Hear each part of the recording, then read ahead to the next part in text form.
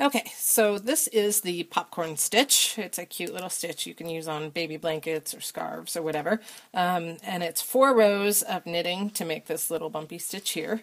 So the first row, the right side row, you just purl across, all the way across to the end. And then if you have a little border, you just knit your border. I usually like to put a border around it, like a little frame.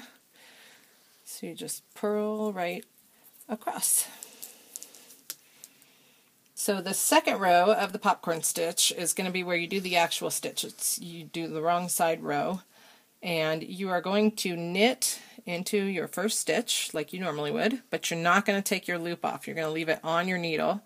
Bring your yarn around to the front and purl don't take your loop off, bring your yarn back around and knit one more time. So that's three stitches into one loop.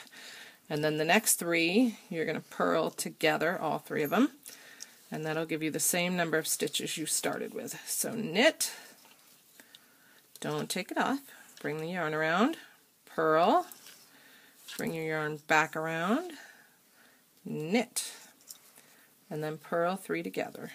And you can do the popcorn stitch on any multiple of four. So you could adapt this to any pattern you want as long as you have a multiple of four for your stitches. You could make your blanket or your scarf any size you want.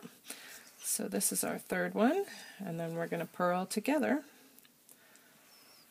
And then I'm going to knit my little border, and that'll be the end of row two. So for row three, it's just another row of purling across on the right side. And you just purl all the way across until you get to your border and knit your border and get ready for row four. And so row four, your last row of the popcorn stitch, is going to be basically the opposite of row two. So you're going to purl three together first, and then you're going to knit one. Don't take the loop off. Purl one, just like before.